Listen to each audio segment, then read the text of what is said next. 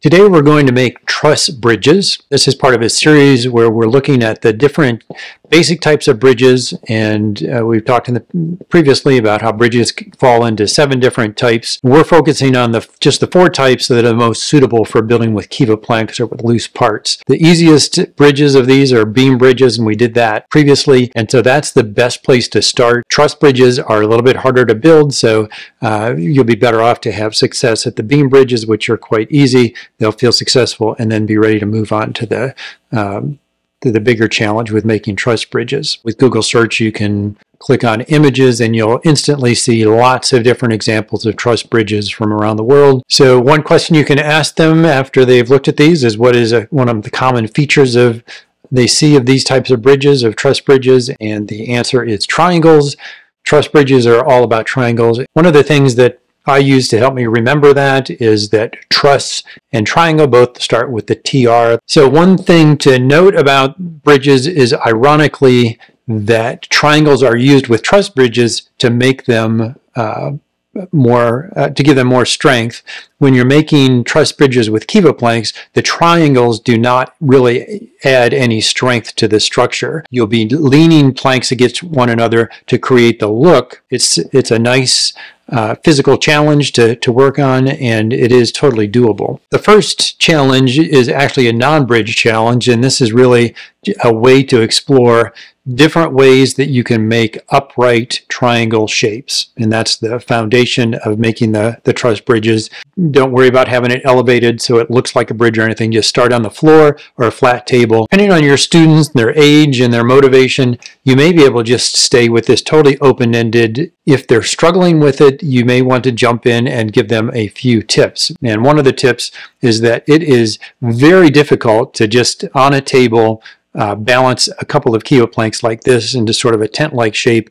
You have to get them lined up perfectly and they will frequently fall. It's an exercise in frustration to be doing that. Create some sort of uh, upright that is secure. It might be one block, maybe by changing the orientation like this.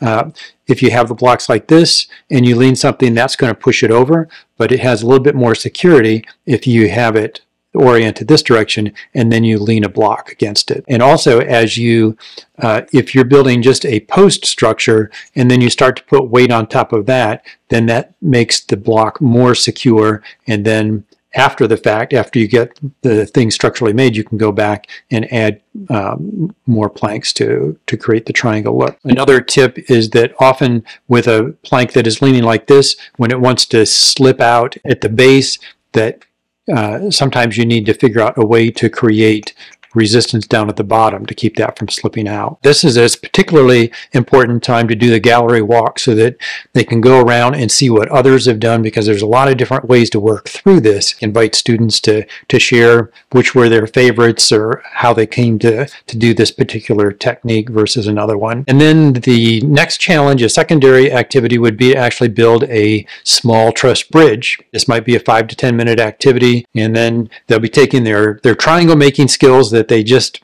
uh, they just created and, and learned how to do that. And this time they can raise that up a little bit and make it start to look like a bridge. But this will still be a small, simple bridge, uh, but we're just progressing to take the triangles, put them into a bridge, do a gallery walk when you're done with that so they can see what others have done. And then we finally get to the part where we're actually building a truss bridge that might uh, might look more impressive.